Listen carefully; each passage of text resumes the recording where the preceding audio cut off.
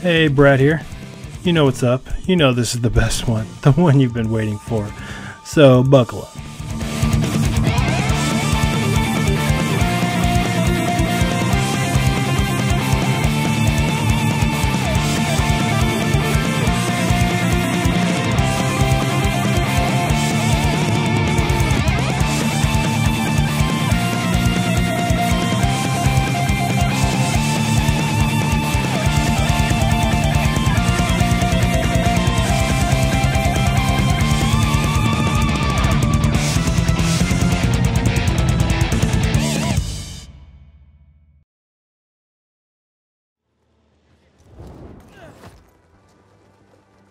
I wanted to make sure that Dying Light 2 made my list this year because I sp- spent a lot of time playing it and I had a really good time. And let me tell you, there's a lot of people mad at this game, and almost everyone is mad at the same thing the story and the characters and the world and the writing and, and the cutscenes. Everyone hates all that stuff. And I knew that going in, but I really liked Dying Light 1. So when I decided to play this game, I, I think I took the suggestion from Carlos, but I skipped every single fucking cutscene from beginning until I was done. And it was so much better because what's left is a really good open world zombie game with like parkour and it's that stuff. It's like the getting around and the verticality and the jumping and and the zipping and the gliding and you get that parachute in this one and when you upgrade it you're like flying all over the place and you get to the the city area and you're climbing up these side scrapers and they're like platforming puzzles to like get up and it it's good. It's fun and I like fighting zombies and it's just it's this game's fun to play. It was one of my favorite games where it just felt good to get around. And, um, you know, I mean, I don't know what to tell you. Maybe I didn't have the same experience y'all did because of because I skipped all these cutscenes, but like I recommend it. I recommend it even if you put it down, just hop back in there and just play it your own way. Ignore the cutscenes, skip them all, and just go out into the world and do stuff and find stuff because it feels good to level up. Those systems, like they're good, man. You feel you feel like you're getting a lot more powerful as you play this game, and it's just it's fun. It's it's the platforming, it's the parkour, it's the verticality. That stuff is it's good. So I wanted to make sure I gave Dying Light 2 its props because it's not nearly as bad of a game as a lot of people make it out to be. Uh, you just gotta, I guess, I don't know, play it the way I did, which, you know, just do it.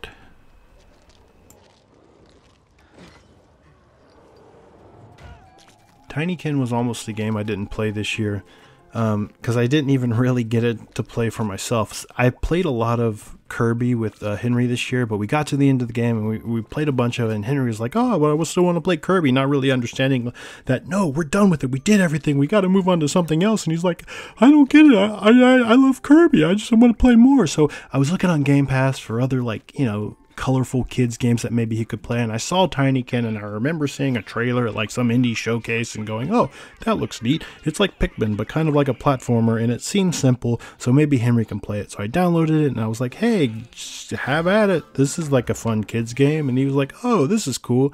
Um, but I'm having a tough time. I can't get up there. Can you do this part? Can you do this part? He always asked me, can you do this part? And I'm like, no, you got to learn. But whatever. I tried it was like, yeah, sure. Uh, here, here you go. Here you go. And the more and more I played of it, the less, the harder it was for me to give the controller back to Henry. It, it got to the point where it's like, no, uh, just let dad do this. He's, I'm, I'm gonna get you some more Tinykin. Uh, and I just got really hooked on it until I realized, no, this is not some kids game. This is a really fun, uh, platformer.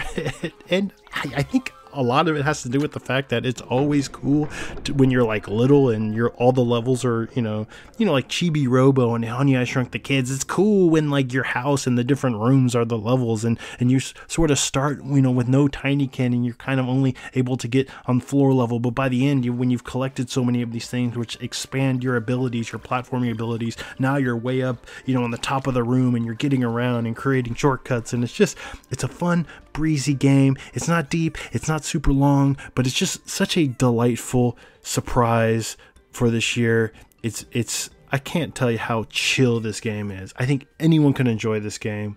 It's on Game Pass. Highly recommended. Tinykin, check it out.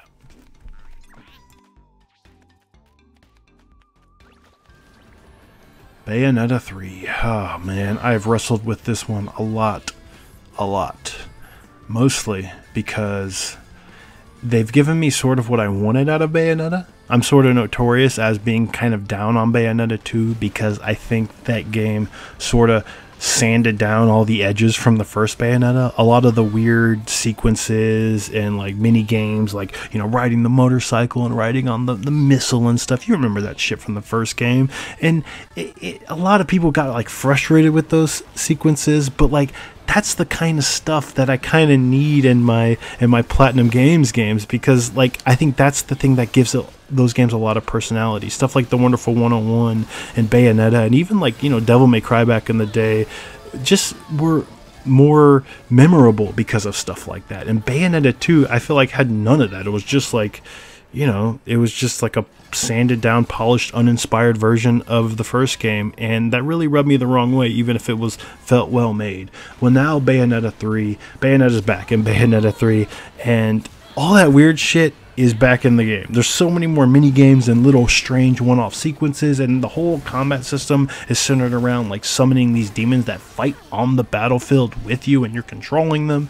And it's ambitious as hell and but let me tell you, it's uneven because I think I for one, I think I feel like they're doing too much and they didn't have time to dedicate to some of these sequences and they feel rushed, they feel sloppy, and it's disappointing because some of them they're such brilliant ideas.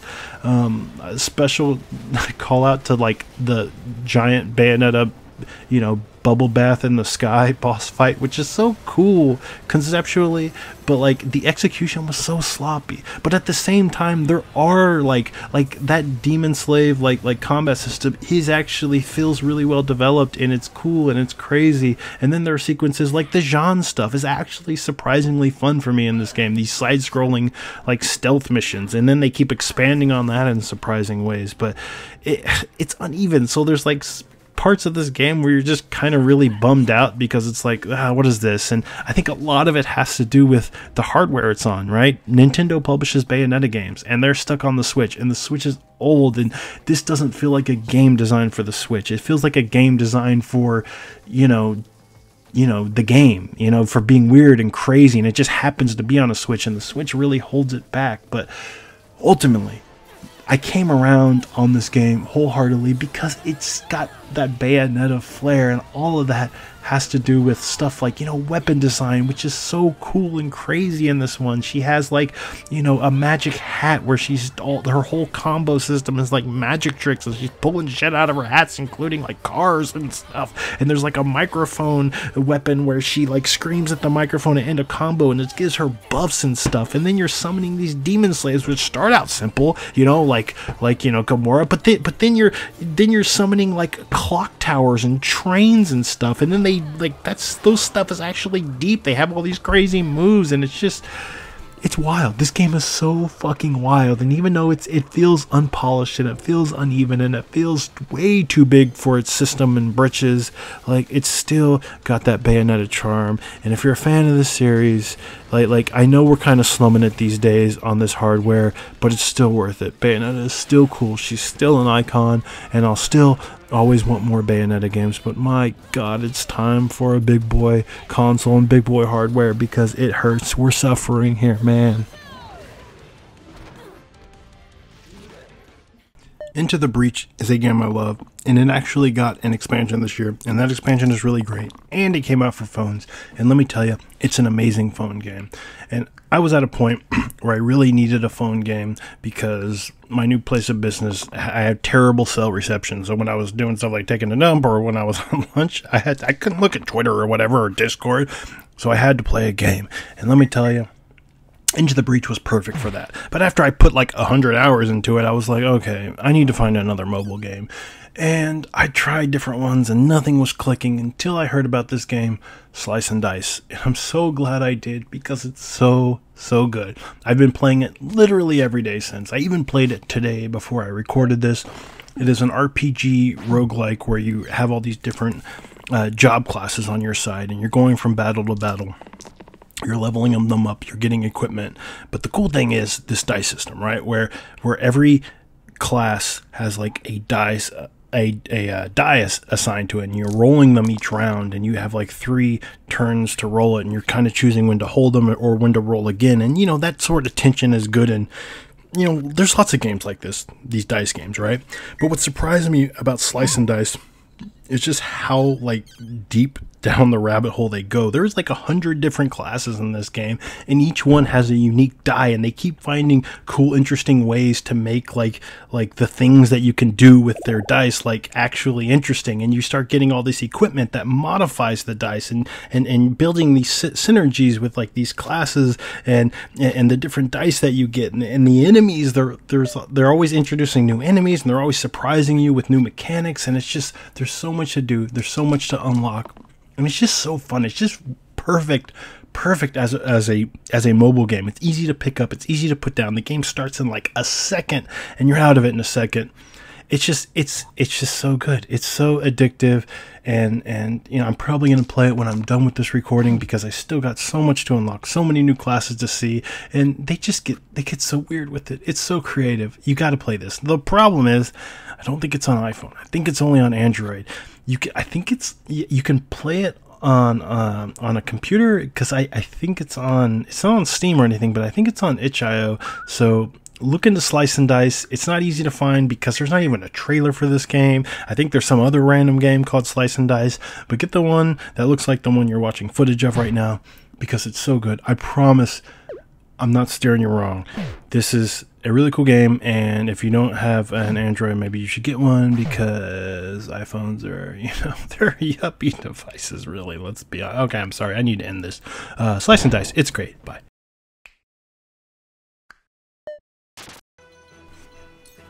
I feel like I've had a really hard time convincing people that triangle strategy is actually really good this year. And I think it's because a lot of what people have said is that there's a lot of story like a surprising amount of story, and it can be slow and it can be plotting, and it can be sometimes an hour before you get back into a battle. And you know what? It's kind of true, but let me tell you. First of all, I want to say that the in combat, like the battle scenarios, the map design, the, the the character design, the class design is some of the best I've seen in any strategy RPG. And you you know I love this genre. You know I have high expectations. Final Fantasy Tactics is my favorite game of all time. But uh, Triangle Strategy doesn't have that sort of backroom customization, the tinkering that you get out of Final Fantasy Tactics. It's actually light on the RPG. Pretty much all of the strengths of the gameplay in this game come from the, the actual on battlefield gameplay, but it's really good here. They have good map designs, like lots of variety, like good verticality, but then they have like interesting abilities um, to like kind of modify the terrain. Stuff like you know an ice mage who can like set up ice walls, which which you know melt after a few turns and can be attacked by enemies, but it lets you create choke points when you really fucking need them. Or a trapper class that can like set up spring traps that will fling enemies back and like fling them into each other, fling them off cliffs, and that's sort of like fucking with you know what the enemy does in terms of like their AI, their positioning, and your positioning and choke points. Like that stuff is so good in this game. And then there's shit like, you know, like elemental stuff, right? Where like that ice wall that was a choke point all of a sudden becomes a bunch of puddles that your then your lightning mage can, you know, drop down a huge lightning spell and, and st stun all the enemies standing in it. Like that stuff is so good. But back to the story. I just want to say while it's not exactly Matsuno quality, Yasumi Matsuno quality, like it's it's actually like a pretty fun Game of Thrones light type you know, political intrigue, backstabbing, sudden betrayals, that that sort of thing. Like there's a lot of that in this game, and it's pretty good. And while there's a lot of story and it can be plotting, I do recommend sticking through it because you have a lot of agency in where the story goes. Like there's these points throughout the story where you have to make like a big choice and those choices can really change, you know, allegiances, where the story goes, even the places you'll be, characters you'll get based on some of those choices. And and the choices are not always up to you. I mean, it's your you and your council are making that decision, but everyone votes on the choice. Like giant game choices, you have to go around and convince people through like dialogue, argumentation, like, hey, side with me when we vote because I really want the story to go in this direction. And it doesn't always work out, you know? And sometimes you have to go down a path that just the rest of your people want to go down and you just have to live with it and that's cool you know it, it, it gives you a sense of like you know ownership over over the tale that the you know the game is trying to tell you it, i like it i was invested but the real star here is what's going on in combat it truly is in terms of on battlefield gameplay one of the best like strategy rpgs I've ever played. Really, I, I I highly recommend everyone try out Triangle Strategy. Even if you're skipping all the fucking cutscenes, the gameplay that's there, it's so good. But don't skip the cutscenes. It's actually pretty good. In fact, as soon as I finished this game, I started another playthrough because um, honestly, you know, once you skip those cutscenes, it's just pure pure raw juicy uh, tactical gameplay and it's really good here so highly recommend triangle strategy it's dope What else is there to say about Vampire Survivors? The game was borderline free. Everyone on the planet has played it. Everyone loves it. Except Nick, of course. He's weird because he thinks the game is ugly, even though I've been telling people that it might look ugly at first, but when you're at 30 minutes, no one thinks that game looks ugly. It's a visual feast and it's amazing to look at. But uh, this is a very addictive and satisfying game. Um, but it's not, I mean, what else is there to say? Uh, we've all played it. We all know it's cool. There's like a million things to unlock and a million characters to unlock. And even though you think it's like a simple game at first, then there's all these levels and bonus levels and like secrets and like deep secrets. And it's just fun. It's just fun once you start getting into evolutions and, and like theory crafting, like the best combinations of like, oh, I should get this sub item and this weapon so I can have all these different evolutions. But oh, I should probably still get the tome because the tome is great, even though the wand fucking sucks. I'm still gonna get the tome. It's Vampire Survivors is amazing. I don't know how I could talk about this game honestly for for however long I've been talking about all these other games because there's there's uh there's not much to say. I mean, just play it, right? The game is borderline free. Everyone should play it. Like instead of watching this, you should be playing Vampire Survivors right now because it's that good. Um, I should just be quiet and let y'all watch the the visual feast in front of you that is Vampire Survivors. It's amazing. You know, I do want to say pretty powerful. Pretty powerful that that this game I don't know if it, it, yeah, it launched this year and it kind of blew up this year even in early access at the very beginning of the year. Um, but there's already been a lot of like Vampire Survivor clones and they're like they're like they're not even like throwaway. They're good. Like real developers have made games already based on Vampire Survivors, and they put out polished, cool, interesting takes on that, and that's that's pretty powerful when something can come out at the beginning of the year and by the end of the year there's already a whole genre of them. That's impressive. Um, yeah, I don't know what to tell you. I, I, love how this game is is inspired by like Castlevania and all those different sub weapons are from Castlevania. I think that's the first thing that got me curious, and I'm so glad I tried it because, you know, it does look kind of lame at first, but but you get it. You get it. Five minutes, ten minutes, fifteen minutes. By the time you're 25 minutes in, it's just there's nothing like Vampire Survivors. It's so cool. I love it. I love it so much. It's dangerous though, man you know when i was playing games to i was trying to like catch up on all the games i played this year before i, I recorded all this game of the year stuff. I was like i'm just gonna play some vampire survivors to remind myself that i really like this game. And then like two hours later four runs later i'm like why am i still playing this? I'm i'm burning all this time that i could be re-experiencing other games and trying new games and i'm just playing vampire survivors. But you know you're never mad because it's always good. And then you shut up and you start another run because this game is is the devil it's uh, it's a vampire. It, leech, it leeches your soul. Tactics Ogre Reborn. Hey, I'm kind of throwing y'all a bone by not putting this at my number one because it's not fair. This is a remake of a game that y'all know I love. In fact, they've remade this game before back on PSP. And in the year that came out, which I think was like 2011 or some shit, or 2010, I gave it my game of the year in one of these conversations, these video, these award shows. I gave it my game of the year.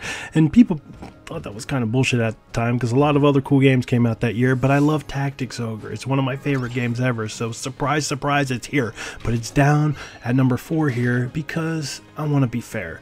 Uh, because they have remade this before. But let me tell you, this is not a port of that remake. They took that remake of Tactics Ogre and ripped out all the innards yet again and redesigned all these systems. And in a surprising way to the point where like this this game has a very different feel than it used to have, which the original Tactics Ogre was very simple, but when they remade it on PSP, they added in a lot of the customization stuff that that that kind the kind of stuff that made Final Fantasy Tactics really addictive that wasn't in the original Tactics Ogre, and that shit was great.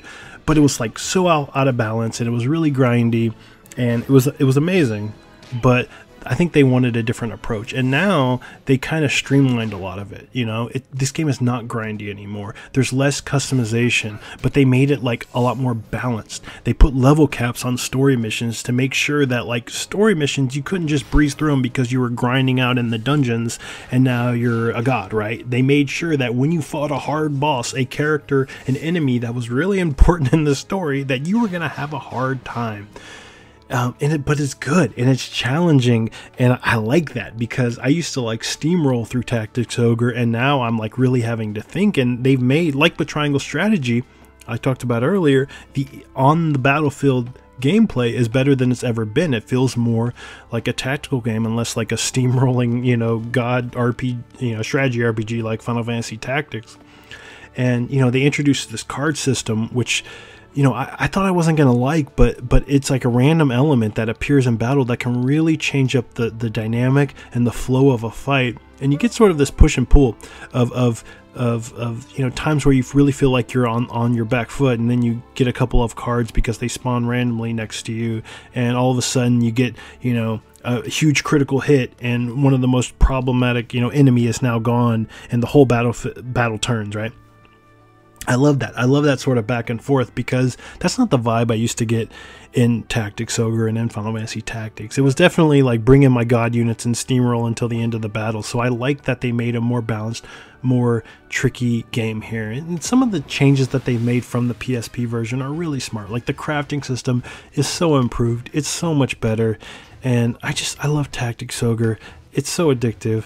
Um, and and one of the things that they did is they added voice acting. This game, the original game came out on like the fucking Super Nintendo, but it was it's a Yasumi Matsuno script, and I love this type of story. I love how Game of Thrones this shit is, and I love some of the, the choices you could make in this game and the, and the paths you can go down. I, I sort of went down the lawful, almost lawful evil path in this one, and it's so great doing that with voice acting because you you hear Denam as like oh, he's being more like of of a dick than I ever thought he was before when I was just reading it because there's voice acting now and it's so cool to have have that that take and uh, I don't know it's just a great time. I, I feel b- bad recommending this game to people sometimes. It's not like an unqualified recommendation because it still looks like a fucking Super Nintendo game but it is a really deep and sophisticated strategy RPGs strategy RPG. It's one of my favorite games ever.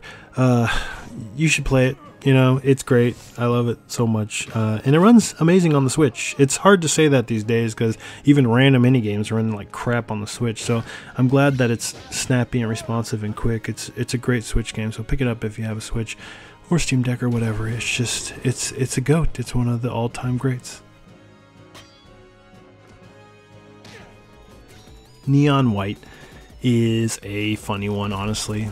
I wasn't really skeptical of this game, but there's this weird thing where I think people in our community know I really like card games because, you know, I'm obsessed with Slay the Spire and whatnot.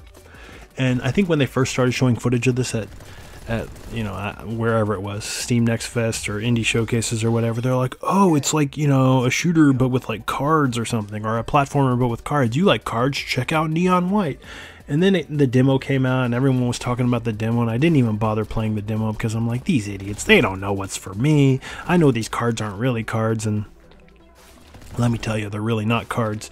This is not a, a card game, so don't look at those cards and, and, and be afraid because this is just a platformer, a time trial speed run type platformer with the story, with like almost like a visual novel element, there's a lot of story, which is you know that stuff's like pretty good and and it's fully voice acted and and it might seem kind of cringy, but in reality, I think it's kind of channeling a certain vibe of like anime or whatever from like the early 2000s or late 90s. It definitely like kind of reminds me of that era. but whatever. The point is, it, the the actual gameplay, the platforming is honestly some of the best I've ever. Like I think this is Neon White is one of the best platformers of all time. It's it feels that good, and I think if it wasn't that good, I don't think people would be as into like like you know the leaderboard chasing that they have been this year. And let me tell you, it's competitive. I don't really see people on my friends list that don't have anything but but uh, you know uh, the the diamond, the crystal rank. What is above gold? God, I forgot. Platinum. Um, everyone's chasing those platinum trophies and like trying to get higher and higher because it's so good. The reason it's such a good platformer, outside of just the way it feels and the controls, and just kind of getting around these environments, zipping around, is like I think it actually has really good platforming level design. Like going from level to level, I was surprised by how like different and distinct they were and memorable they were to the point where I can jump back into like an old level that I played hours before, and just like every inch of it I just I, I remember I'm like I know this. This shit is so cool, and I think that's a sign of a really good platformer because at first visually it looks like it all kind of runs together but once you really play this game and, and, understand like how clever like the design is you realize just how much effort went in to like really giving a sense of like distinct variety from level to level.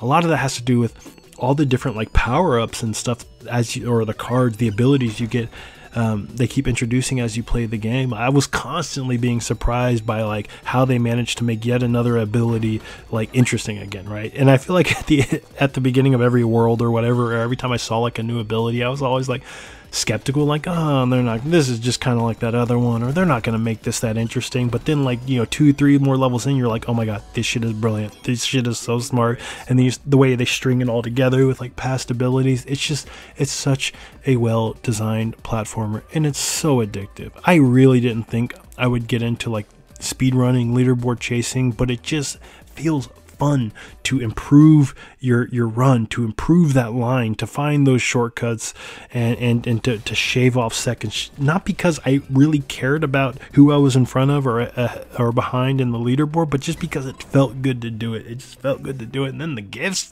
the gifts, it was tricky finding figuring out all, how to get all the gifts, and those would unlock all those all those bonus stages that had like really unique gimmicks gimmicks it's just ugh, neon white is it's so good it's it's just biggest probably surprise of the year for me now that I think about it. I do have to think about it because that's going to be one of our awards. But I just, I love Neon White.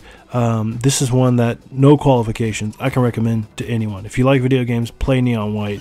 Even if you don't like the cutscenes and characters and anime stuff, you can skip all of that um, and just get to the get get to the the platforming because it's good. It's that good. You gotta play Neon White. Another one down. You might be surprised by how high this is on my list considering some of the stuff below it, but let me tell you, there were times when I was playing Crystal Project, which is a terrible name. It's not even Project Crystal. Why, why is it Crystal Project? I promise there are people who didn't buy this game because the title is so bad. But, anyways, there are times when I was playing this game where I was wondering if, if, if even my number one would be my number one, which is crazy considering, well, I mean, you know what my number one is, but I, I can't believe how much Crystal Project just clicked with me. It, uh, on the surface, you'll see some like battle gameplay. This is like a JRPG with like a Final Fantasy V or you know tactics style job class system where there's all these different job classes and, and, and you're equipping like subclasses and you're kind of making those those synergies but also like the team synergies to kind of make the perfect team or whatever which is the shit i love so fucking much so i knew when i saw first saw a trailer and part of that trailer was showing me like the menus and stuff I knew this one was for me. But was what I was not expecting is that this was also going to be like this really, you know, trick like challenging, frankly, like open world, like no hand holding, like exploration game. Like this is it almost feels like Final Fantasy V meets Breath of the Wild, which is a crazy fucking thing to say, but there's a lot of like platforming and figuring out how to get around the world and then sort of you know you know poking at the edges of the world and finding secrets and caves and, and stuff. And and then you start getting these mounts these these like you know you get like a little dinosaur that lets you run fast and you get you get a goat that lets you jump high and you get a fish that lets you like swim underwater and you're not just going underwater you're going down into the ocean and finding underwater caves and dungeons and like and like there's chests and stuff with loot in them. And and let me tell you the loot you find in this world is actually like meaningful. Like I would I would climb super high because let me tell you, this is also a fucking platformer and it's like it's so good.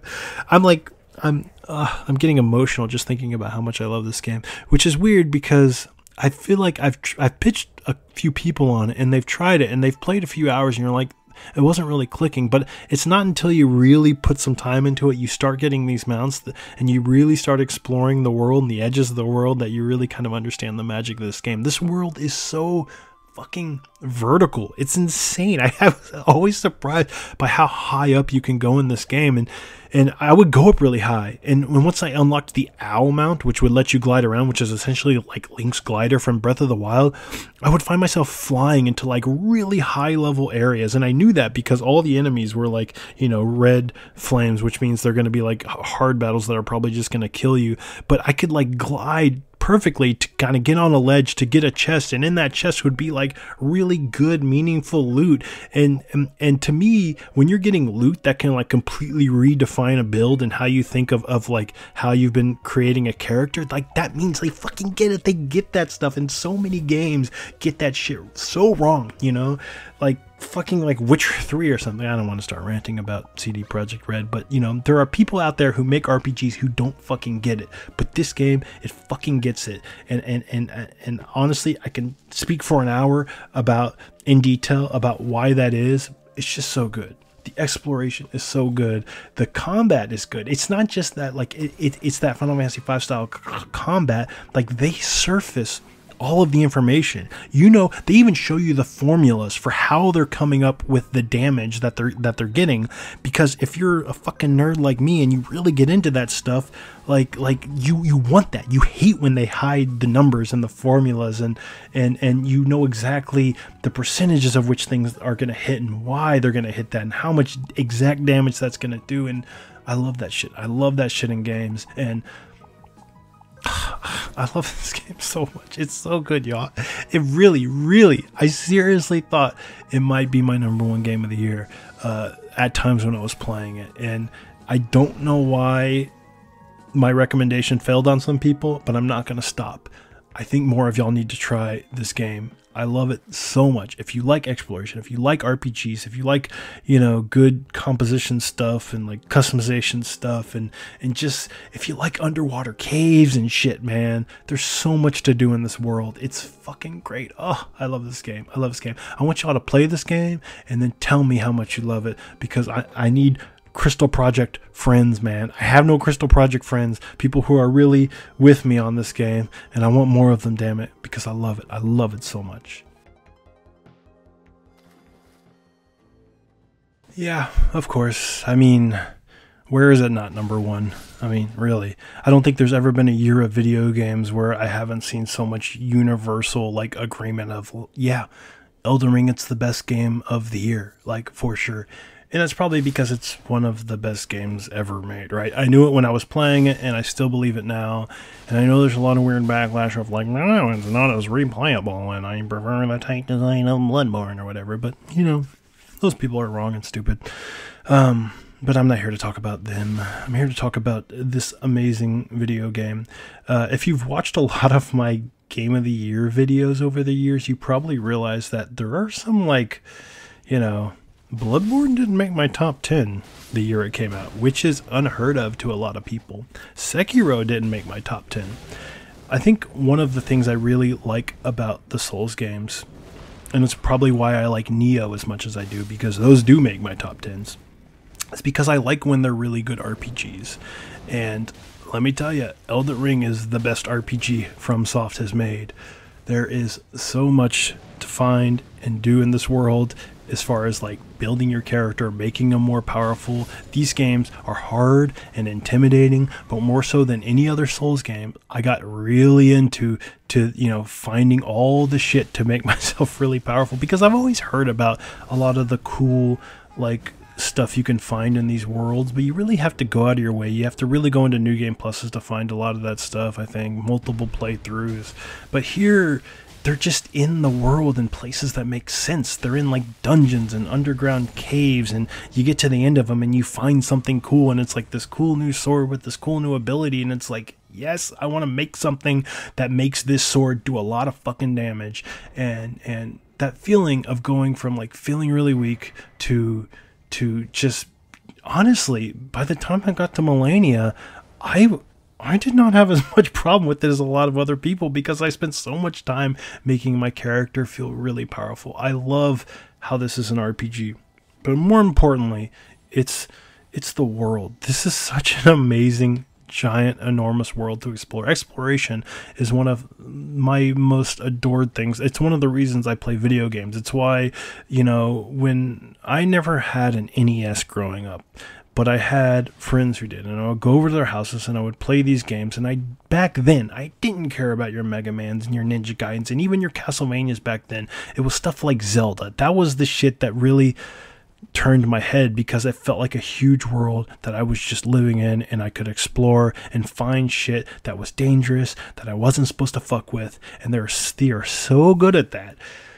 You know, I get a lot of crap when I play these games because I look up a lot of stuff. And I'm not looking up stuff to like make the game easier, to kind of help me like beat a boss or what I like to look up are people talking about the game. I like to see tier lists and, and people arguing over what they think is really cool or like the shit that they found. And and I, I like to discuss that with them too right? Like it's just one of these like side little meta things that makes me enjoy video games right? I wouldn't love final fantasy tactics as much as i have if i didn't read class guides with ratings on what people thought about each and every class right? Like i just love that stuff. And there's so much stuff out there about elden ring that it was just great reading about all these different weapons and spells and and finding out that where that stuff was in the world and making these like quests for myself. These quests that I would go on with these journeys to like places the world I have no business being in, but I knew there was something there that I wanted.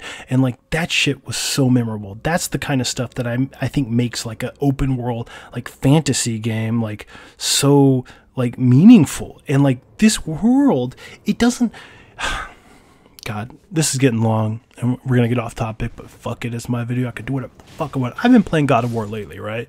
And that's also a big open world, but it feels like a world designed for the player. Like every handhold and crack and, and crevice that you crawl up and crawl through, and, and even the chests that you find, they, they feel like they exist for Kratos to get around, to find. It feels gamey. It feels like fake. And I think the reason that games like Breath of the Wild and now Elden Ring are so powerful, they're so meaningful, it's because these worlds, they just feel like spaces. They, they don't feel like spaces that exist for the player. They just feel like well defined, developed just just places and you're just in them. They don't even want you in them, right? Like you feel like you're going to places you don't belong. You're getting to areas that like no one should go, much less the player, and that's really powerful and it's meaningful and it makes exploration exciting. And when you open a chest and get teleported to Caelid and it's like the most horrifying thing in the world, it's like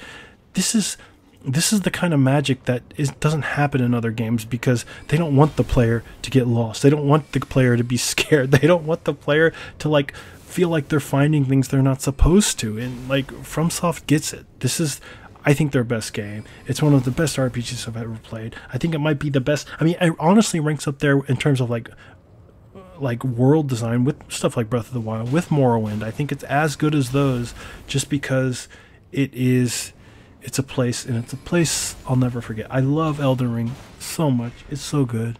And I don't care if you've replayed Bloodborne more, you're dumb. That's it. Sorry. I didn't. Well, I shouldn't end with the toxic thing. Uh, let me uh, tell you. Let me tell you. I really love the Blasphemous Blade. Did y'all get the Blasphemous Blade? I played a strength faith build, and I felt weak and underpowered for so much of that game while watching all these int boys running around, you know, with their with their light armor and their magic spells and, and, and like, oh look at this beam, I can just melt through this guy. But when I got my blasphemous blade, I felt like my strength faith was justified, and my God, I, be- I became so powerful. That is such a good broken weapon, but I love it. I love, I love that this game lets me RPG my way up into broken. That's the thing I couldn't do in Sekiro, and I love it here. I love it. Anyways, uh, y'all have a good year. I'll see you next year, where we're talking about, I don't know, uh, what's going to be game of the year next year? Um, Final Fantasy 16, maybe? I don't know. Anyways, that's it y'all have a great, uh, great, uh, new year.